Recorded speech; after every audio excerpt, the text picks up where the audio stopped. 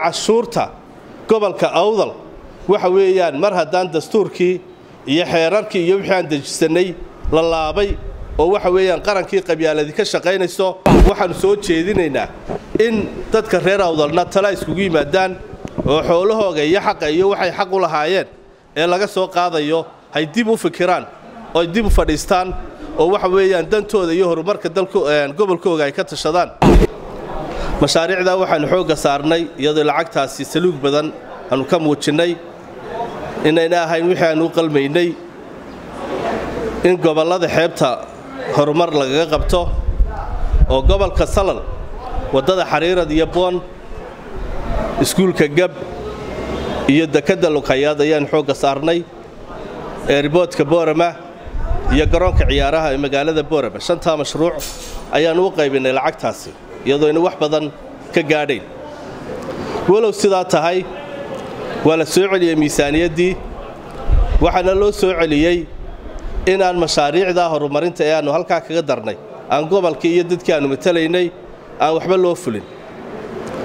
Gobolka waxaynu ognahay in dhaqaalaha ugu badan ee xagga cashuuraha hay ka soo baxaan gobolka awdal.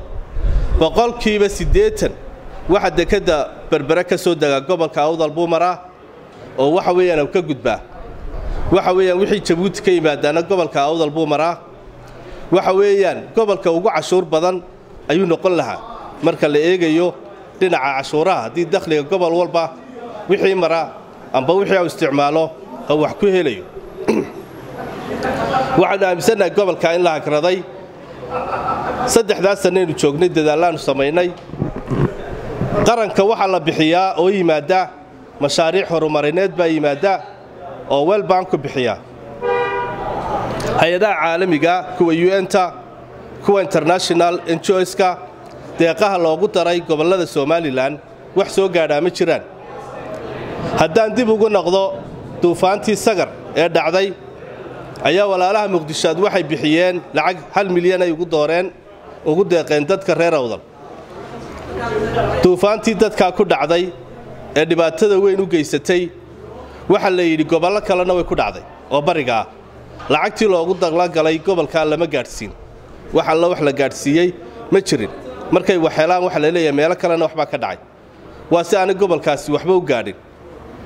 Waxa weeyaan waxaannu soo jeedinaynaa oonu baaq cod sare ugu diraynaa xukuumadda somalilan inay mashaariicda gobolka awdal aanay marnaba maaragtay aanay meesha ka saarin ay sii dayso. Taasi waa codsi waana baaq weeyaan.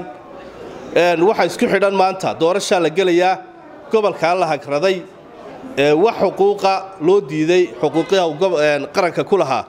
Haddii intaa yareenu maanta ku dadaalnay laga saaro waxa weeyaan dee xukuumaddu iyadaa maaragtay cirka roobkoog halkay cod u doonanayso.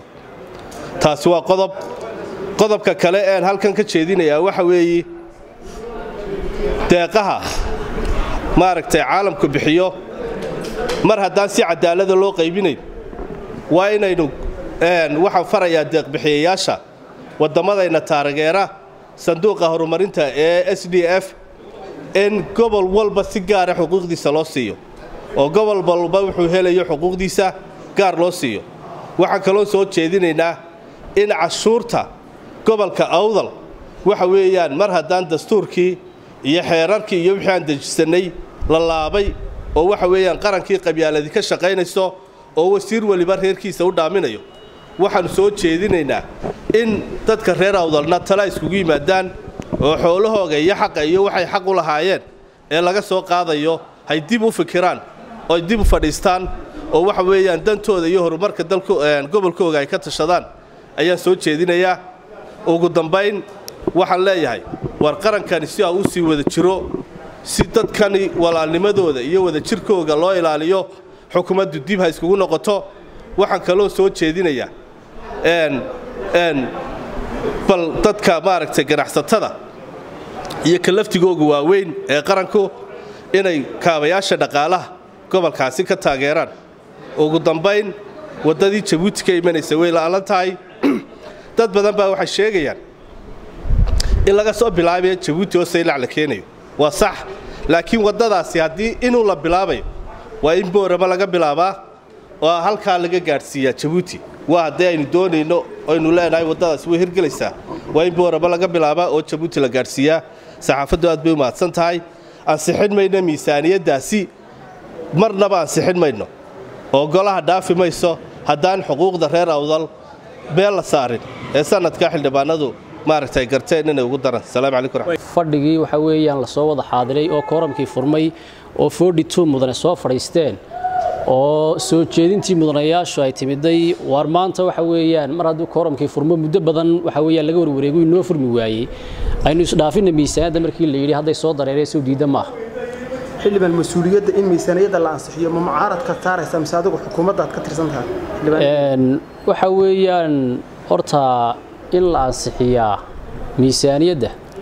Kow horta waxay ku xidhan tahay kooramka labana waxay ku xidhan tahay mudanayaasha waxa weeyaan waxay aaminsan yihiin intay halkaa dhigaan iyo intaraska iyo waxa weeyaan waxa yara jeebadaha ku wataan inay si guud iyo si qaran u eegaan bay muhiimaddu ahayd. Mar haddii miisaaniyadda la soo celiyo madaxweynuhu soo celiyana ma laha dood ma laha ma wax ka bedel ma laha ma laha lifaaq. Laba qodob unbaa taaganoo waxaan in ama lagu raaco soo jeedinta madaxweynaha ama lagu diido. Marka raaci maayo diidana maayo dee wax aqliya ma aha dee waxay noqotay markaasi inay aqli ka dayeen inuu yidhaahdo kooramka furmi maayo bannaankan fadhiya kafeteriyaashaa ku cabaynaa aqli ka dayeen. Laakiinse mar hadduu halkaas soo gaadho labada option unbaa taagan. Ama in lagu raaco madaxweynaha ama waxa weeyaan in lagu diido. Labadaa wixii waxa weeyaan ka baxsan waa iska qayra shacri waa qayr dastuurina weeyaan waxa weeyaan gobolka ugu cashuur badan ayuu noqon lahaa. Marka la eegayo dhinaca cashuuraha haddii dakhliga gobol walba wixii mara amba wixii uu isticmaalo oo wax ku helayo. Waxaanu aaminsannahay gobolka in la hagraday saddexdaas sannaynu joognay dadaallaannu samaynay.